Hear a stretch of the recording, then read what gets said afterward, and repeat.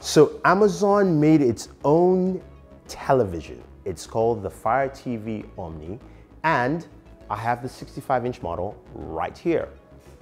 So let's take a look and see how well it games.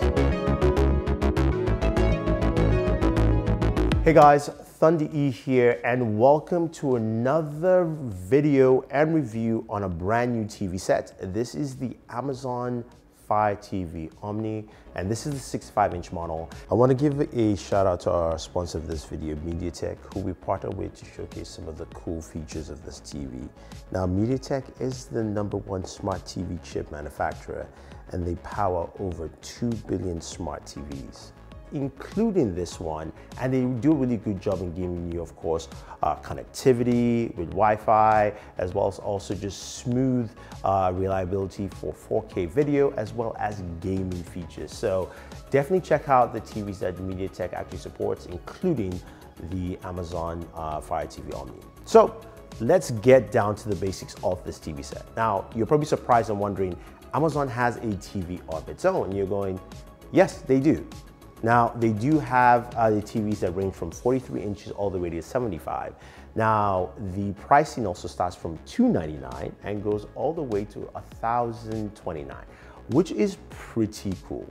Now, in terms of uh, supporting codecs and specs, all of them support Dolby Atmos, um, but in terms of Dolby Vision, that's only supported on the 65 and the 75 inch.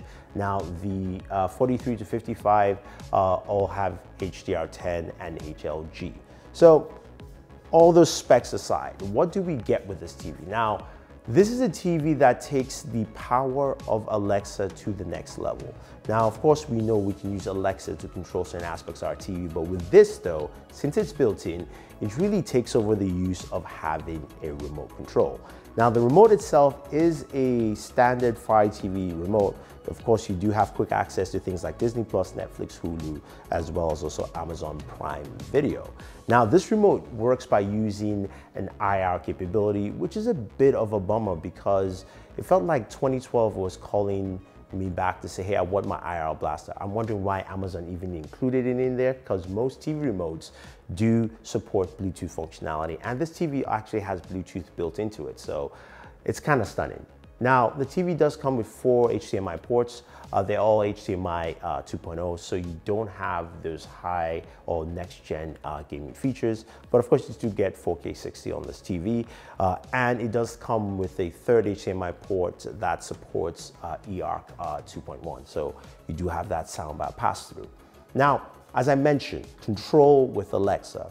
I can talk about how it actually works and how you can use it to control different aspects of the TV as well as your home, but let me just show you in this clip. So let's start using Alexa's voice for the TV. Alexa, switch to Xbox. Okay. Alexa, switch to PlayStation.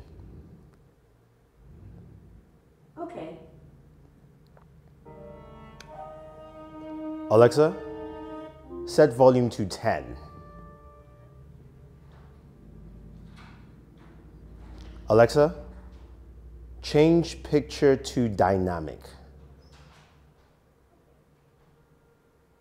Alexa, go to Netflix.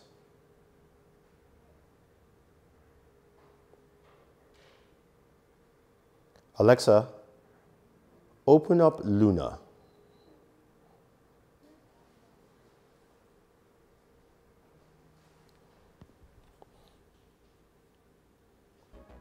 Okay, so honestly, Alexa is pretty good when it comes to controlling your TV set and also controlling things around the home. And I really like its implementation in the Fire TV Omni. It really works very, very well. So it's nice to know that I don't need my remote control. I can actually tell it to turn on and turn off my TV, which is great.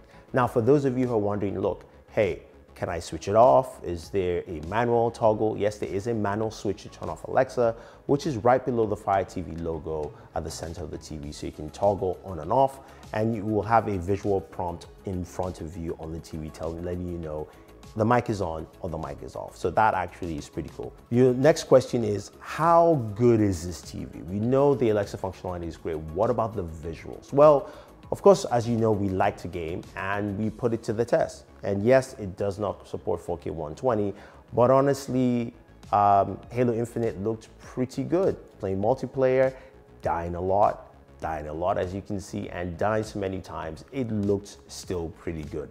I like the way the TV functioned. Uh, I didn't notice any input lags or anything like that. So honestly, you can game well with this TV. You just won't get a lot of those, um, you know, high-end uh, gaming features like VRR and so forth on with this. But while playing Halo Infinite and playing uh, um, Forza uh, Horizon 5, TV looked good. Also, the viewing angles were great, either uh, offset from the center of the TV.